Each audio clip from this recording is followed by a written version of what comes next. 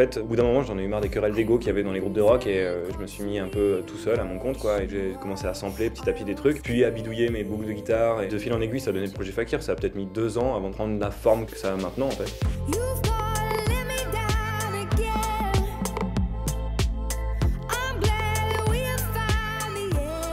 Quand je suis passé du rock à l'électro, mes potes m'ont dit euh, Tu vas faire de la fausse musique parce que tu grattes plus un bout de bois avec des cordes. Et euh, je me suis dit bah, Je vais faire de la fausse musique avec mes fausses oreilles. Et du coup, euh, Fakir, un esthète qui s'inflige des douleurs physiques dans un but spirituel, j'aimais assez le concept, quoi.